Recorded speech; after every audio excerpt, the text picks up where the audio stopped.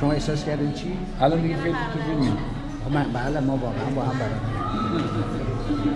منتها من با برادر ایشون هم دانشکده باشه با خودم بودم. نه خودم نه من سه پایین بودم. خب پایین. نظام پایین. تر بود. ولی تقریبا میشه گفت که دوست فامیلی هستی با برادر بزرگت به نظرم بله فهم کنم ببینیم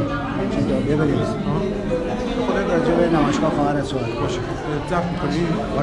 ببین من این نمایشگاه رو در واقع یه نمایشگاهی هستش که پس از یه تجربه ای که ایشون داشته خب از نقاشی فیگوراتیو می‌خواست خارج بشه. و خارج شده ولی به یه عالمی رسیده که عالم به اصطلاح چیزه آره تو اینه عالم اصطلاح این رئال هستش. فرا ما می‌بینیم که در این نگاه و تفکرشون توی تصویر و توی اصطلاح اون نقش ها یک تأثیری گذاشته که اینا رو دگرگون کرد.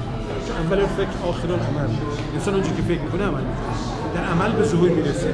خب؟ من اینو می‌خوام بگم که چیزی که الان در اینجا برای من اهمیت داره اون نوع نگاه و تفکرشون هستش که آورده وارد نقاشی کرده نقاششون به یک به ریتم شکسته ما مثلا ریتم شکسته تو موسیقی هم داریم خودتون موردی اه، ریتم شکسته داریم که این پاره پاره با همدیگه همگن شده و یک کمپوزیسیون کمپوزیسیون های جدیدی ایجاد که بر اساسش با یک خوانش شاعرانه که من ازش می‌کنم یه نوع نقاشی اصطلاح poetical paintings یا نقاشی شاعرانه ای که ما در اینجا می‌بینیم که علاوه بر اینکه دارای یک انسجام تصویری هست ولی از بخش های کوچیکی که مثل موزاییک کنار هم قرار می‌گیره و این موزاییک ها در واقع با همدیگه وقتی همگن میشه مثل که شما یک صدای مثل نقراتی در موسیقی مثل ایقاعات موسیقی چجوری ریتما کنار هم پلی ریتمیک میشه کنار هم قرار می‌گیره.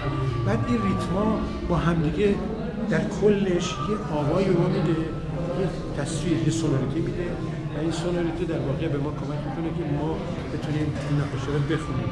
به نظر من نقاشیشون بیشتر پیدا در این چند سال خودم از نزدیکم شاهد بودم و ایشون چون یه مقدار ایلوستراسیون کار می‌کرد نقاشی کتاب کار می‌کرد. الان ما می‌بینیم که تونسته در واقع یک کمی از اون نقاشی کتاب فاصله می‌گیره وارد یه دنیای جدیدی بشه. از سوی دیگه این به نقاشی کتاب هم بهشون خیلی کمک کرده که بتونه یک حالت روایی و به اصطلاح الگوریکال یا روایی در کارش ایجاد کنه که از نقاشی صرف فاصله بگیره. این یک حسن بزرگ داشت به نظر من.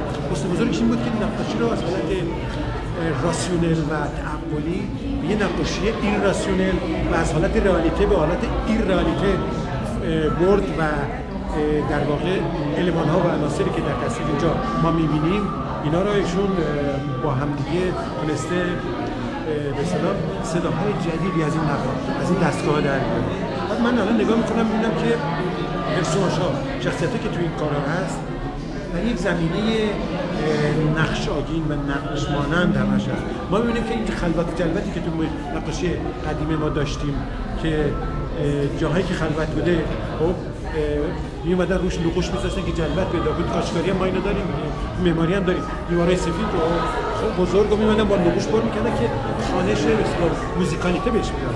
ما در اینجا می‌بینیم که مثلا من خودم وقتی مسجد جامع اصفهان رو می‌بینم مثل که دارم موسیقی گوش میدم خب مثل که تمام این چیزا داره شنیده میشه. و در اینجا می‌بینم که با کلمات و حروف و لتر به اصطلاح واژه تونستن ایشون یه سری به اصطلاح رقص حروف و ایجاد می‌کنن که این با تصویرها وقتی همگن میشه ما هم حالت نوشتاری داریم دو تا نظام اینجا داریم. یه نظام نوشتاری داریم در این تصویرها یه نظام دیداری داریم. این تصویری داریم در واقع. تصویر را با نوشته.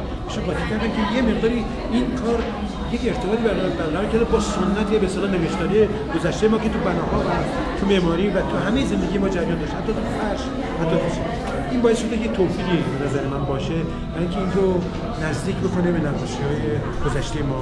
و در این حال ما می‌بینیم که اینجا خطوط و به اصطلاح پاره هایی که شده، مثلا در این کار ما یاد مثلا شربافی یزد و اینا میافتیم. که چجوری پارچه ها رو مثلا مثل موج درست می‌کردن.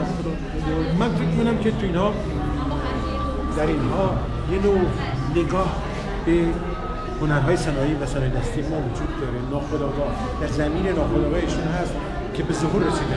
و در اینجا خودشون نشون داده و تونسته همین باعث شده که این ریتما با هم دیگه خیلی قشنگ با هم دیگه هماهنگ بشه.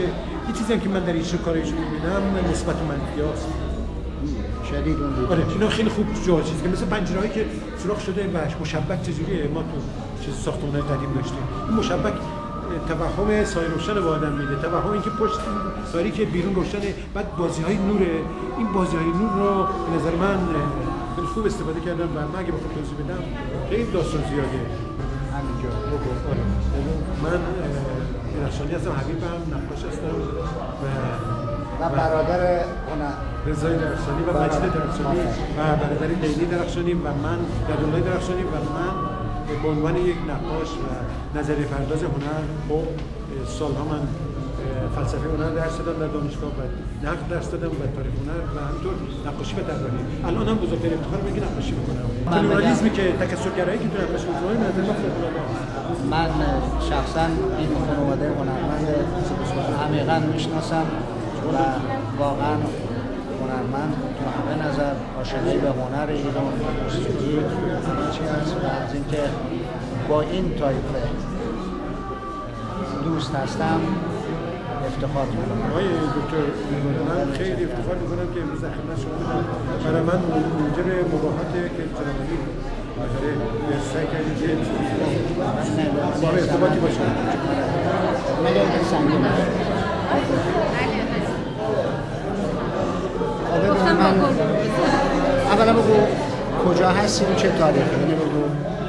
امروز اه، 18 دی 1394 ما تو گالری هستیم و این هم یه نمایشگاهیه که در واقع در مورد ممنوعیت صدای زن.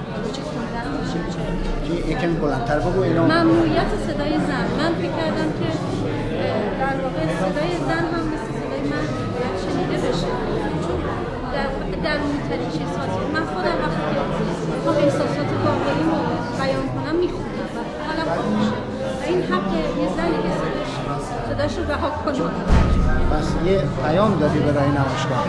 پیام هم سیاسی نیست نه نه همین بالاخره. شما فمینیستی یا نه؟ من طرفدار زنم نمی‌تونم بگم فمینیسم مفهوم فمینیست حالا ولی من همیشه طرفدار. همیشه تو کارام. این طرفدار مرد اصلا نیست. چرا جایگاه خودشون دارن؟ ولی زن حقشه که